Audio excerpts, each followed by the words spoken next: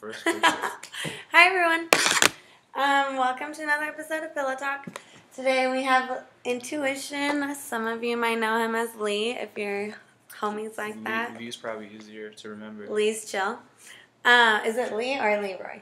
It's Lee. His is regular old. Nice. That's my grandpa's name. Oh, that's a good name. It's It very rare. I've only name. met like ten other Lees in my whole life, maybe. Damn. Maybe twelve. I don't know. Not a lot of Lees out there anymore. it's true. They're Yeah. very rare. Yeah. Okay. So first things first. Well, I guess we got the name part out of the way. But I gotta state your name, age, occupation. My name is Lee Shaner. My age is early 30s, Nice. getting towards the middle of the 30s. Uh-huh. Uh, and my occupation is like very just Los Angeles grinder. You know, like everyone in LA is like, oh, I do this, this, this, this, and this, and that's what I do. Like I Yeah. make music and I do photo stuff and I podcast and I YouTube and Hell yeah, your podcast is legit. thank you, I appreciate it. Everyone should go check it out. Yeah, it's called kind of neat. Yeah, kind of neat. Yeah. Um, what's your current relationship status? I'm single with like you know my fallbacks. I, I have like Dead. yeah it's true though. yeah yeah. The ones that are always I'm single around. with like a, with like old reliables. I'm dead. Old reliables. the truth though.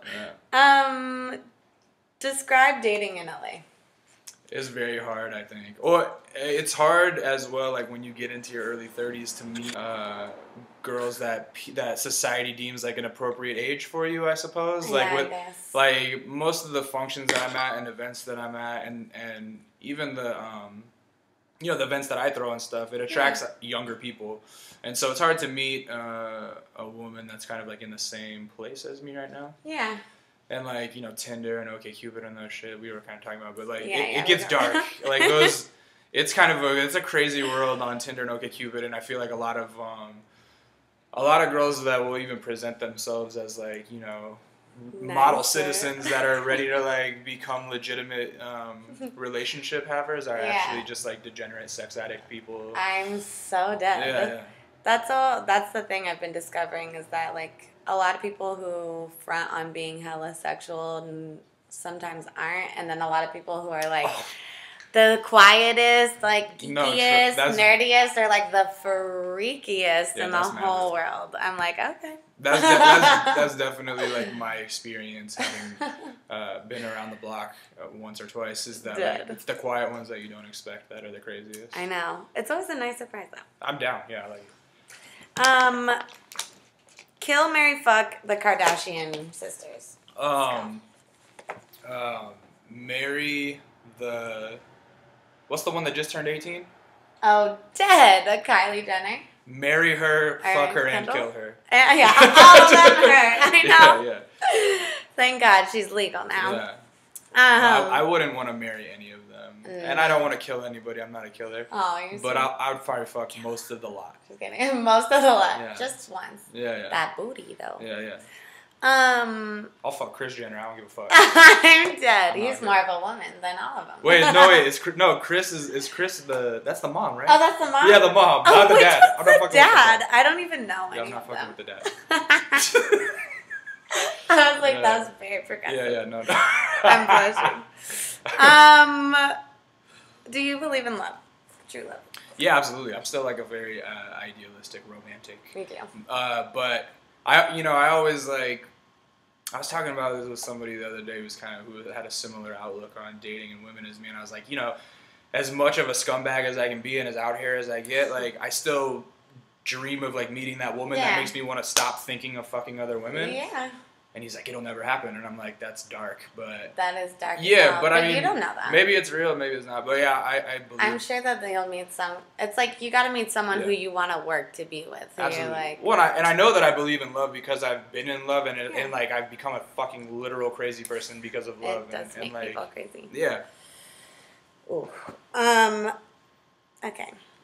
I wanted to talk about how important is communication in a relationship. Do you think? I think it's very important, and, and the older I get, the more like upfront I like to be because Yeah. I always tell people like if you're barking up the wrong tree, if someone's barking up the wrong tree, like if I'm trying to date you but you're not down, like Yeah. th- it's way easier to just like be like a no is better than no answer. You know what I'm saying?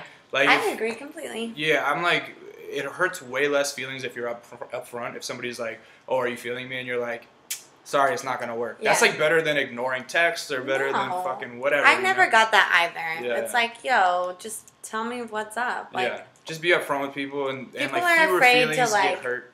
be honest though. Yeah, and I mean, as far as when you're in a relationship, communication has to be everything because Yeah. when it breaks down, that's that. That's it. So Well, do you? I wanted to ask. Do you notice? I mean, you've been on tour and all that kind of stuff. a little bit. Not, I'm not a big. I'm not a big tour guy, but Huh. yeah, yeah. Well, okay. I, I could probably still answer. Try, try yeah, I'm trying to figure out how to Yeah, yeah. phrase it. I wanted to ask, like, it's hard when you're on your hustle and your boo's on your hustle to keep Yeah. communication and make time for each other. Oh, so how do you go about doing that? Like, how when you are kind of seeing someone, how do you go about communicating with her and like keeping in touch and making sure that like everything is Gucci without being like, I'm fucking busy, bitch. Like, Well, I think I mean I'm a Cancer, and so like I like that emotional validation a lot. So I like to feel like a woman's there for me. But Yeah. at the same time, if somebody's hustling and working hard, like I, you have to just like know and, and you have to respect that, and you have to like think like, oh, this isn't about me. This is Yeah. about her working. So you can't get jealous of somebody's grind. You know what I'm saying? know. You have to. Um, I mean, you have to support that, and then hopefully she'll let you be Mr. Mom. So if she works hard enough, then you don't have to. You feel me? Perfect. Preach. Um. Okay, I wanted to talk more. Yeah, let's talk Yes. about the dating sites and apps. okay. So, what's been your experience with that? Which ones have you been on? I, I've done um, Tinder and OkCupid. Those are the only two. Those are the only two that I've tried. How's and, I- and you know what's funny? Spaghetto, shout out to Spaghetto. She put me on to OK Cupid. She was like, "Oh, you have to get onto this. You have to get onto the OK Cupid. You can like send the messages to the girls without even if you don't match." That's my uh, Spaghetto impersonation. Yeah. she um yeah, yeah, and so I'm like, all right, down. And I got on there, and at first I thought that it was like uh, more of like people that were ready to settle down. That's what I assumed. Yeah. And, I, and I like I always joked around that like Tinder's for fucking and OK Cupid's for making love. That's what I would think. But- making love. I think I've found that like girls on OK Cupid are more batshit crazy than the ones on Tinder, Yeah. even because Tinder has become a little more socially acceptable. Like, Yeah, it's a like- lot of people are out there. yeah, a lot of people are out there because it's such like an open like joke kind of like Yeah. like, oh haha, we met on Tinder. But like it's become socially acceptable, and like Yeah. OkCupid, I feel like is a little darker, and like the Yeah. girls are a little more like they try to present themselves as conservative, like I said, but they're Yeah. they're like you know kind of yeah, well like de- like I don't know, maybe like Dark. sex addict de- de- degenerates kind of, but no, I'm kidding. Shout out to all the OkCupid chicks. No, they're good. Yeah, yeah, You're fine. yeah. You'll find someone. Um.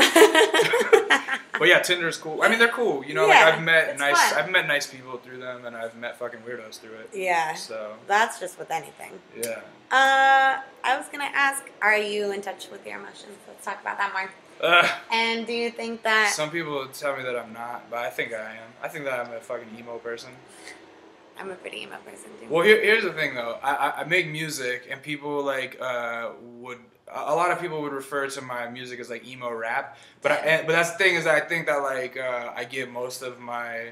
Uh, I get most of my depression out through that shit, and then I kind of ignore it all the other times. Yeah. So yeah, yeah. So I am like, that. I'm generally like a outgoing, happy person. Um, Well, I mean, I'm just in very touch with your emotions. I'm very self-aware, like- so I think that I am in touch with my emotions. Yeah. Yes. I'm do you do you think that men are afraid of intimacy? Uh, well, like cuddling? but no, I'm not. Uh, yeah, no, abs- no, like absolutely. intimacy, Absolutely, like men are afraid of actually being in love and like opening up yourself and being vulnerable with Yeah, I mean, someone. Because people always joke and like it's like not cool for guys to. I think everybody's Date scared. girls. I think everybody's scared of that. I I, think girls are scared of it too. Girls are scared of it. It's in, it's scary. I'm trying to get deep. it's scary to be vulnerable because people fear rejection naturally, and so if you open yourself up to those uh, those like deeper places, and somebody rejects that or doesn't like it, then it's like that's the worst feeling.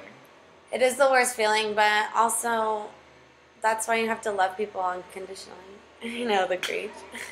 He's lashed out. You have to love them unconditionally because, I mean, fuck it. I'm, it sucks getting your heart broken, but if you don't, you don't really have anything to lose in Right. relationships. Like, what's the worst thing that'll happen? You won't be with that person, and you will fucking find someone else in one second. Better like, not to have lived and loved than to, or and like be hurt and Yeah. not love at all or something. Yeah. I destroyed that quote, but it's No, very you real. got it. Very real. that is the realest quote. Yeah. Okay.